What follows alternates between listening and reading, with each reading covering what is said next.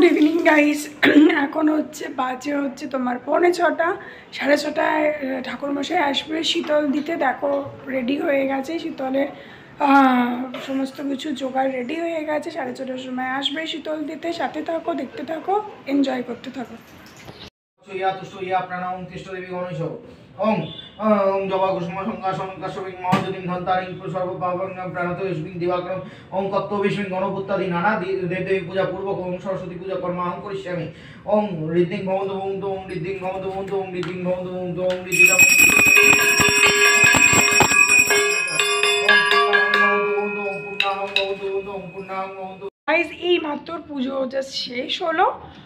মানে আজকের মতো পুজো শেষ হলো, আবার কালকে রাত সকাল নটার সময় দধিকর্মার পুজো হবে।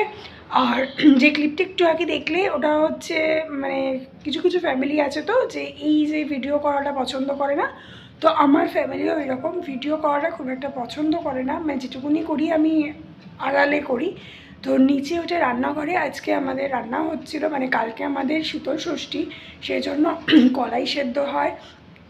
ভাত হয়, যেটা পরের দিন খাওয়া হয় এবং টমেটো আর কুলের চাটনি। এগুলো হচ্ছে মাস্ট এই তিনটে হচ্ছে ঠাকুরের উদ্দেশ্যে আমাদের হয়।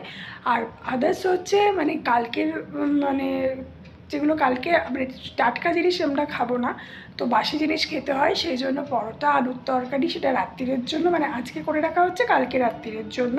আর মেন হচ্ছে গোটা সেদ্ধ, আর পান্তা ভাত, আর তোমার কুলের টক, এটাই হচ্ছে মেন সেটাই ওই রান্নাঘরে রান্না হচ্ছিল। তো আমি যেটুকুনি পেরেছি তোমাদের সাথে শেয়ার করেছি। আর কালকের জন্য ওয়েট করো, আজকের মতো তো এখানে হয়ে গেল। কালকে আবার আসব সকালবেলা। তখন দুধিকর্মা সমস্ত কিছু তোমাদের সাথে দেখাবো এবং রইল বিসর্জন। তার জন্য পুরো দেখতে হবে কিন্তু, ঠিক আছে? আর এগেন বলে দিলাম লাইক কমেন্ট অ্যান্ড সাবস্ক্রাইব ঠিক আছে? গুড মর্নিং গাইস আজকে হচ্ছে সরস্বতী পুজোর সেকেন্ড দিন। মানে লাস্ট দিন তো দধিকর্মা সমস্ত কিছু প্রিপারেশন হয়ে গেছে, একটু পরে ঠাকুরমশাই আসবে। দেন পুজো করে মায়ের দড়ি খুলে দেবে, মা চলে যাবেন। তো দেন তারপরেই হবে বিসর্জন। বিসর্জন আজকে নয়, বিসর্জন হবে কালকে। তো দেখে নাও, এই হচ্ছে তোমার জোগাড় হয়ে গেছে সমস্ত কিছু। চিড়িয়ে মুরগি, দই, যা লাগে যদি কর্মাতে সমস্ত কিছু জোগাড় হয়ে গেছে। তো একটু পরেই পুজো হবে। সাথে থাকো, দেখতে থাকো আর ব্লগটা এনজয় করতে থাকো।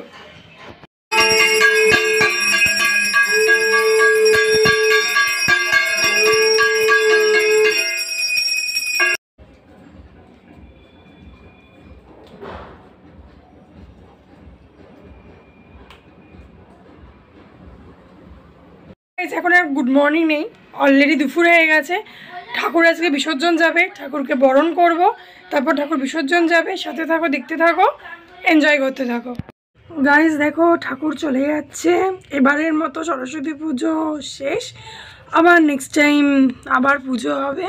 মনটা একটুখানি খারাপ, দু তিন দিন ধরে ঠাকুরটা ছিল, জায়গা পুরো আলো হয়েছিল, তো এখন ঠাকুর চলে যাচ্ছে, ঠাকুর এখন ভাসানো হয়ে যাবে, আবার আসছে বছর আবার হবে, সেই একটা মনের আনন্দ নিয়ে যে আসছে বছর আবার সরস্বতী পুজো আসছে ঠিক আছে? চলো সাথে থাকো।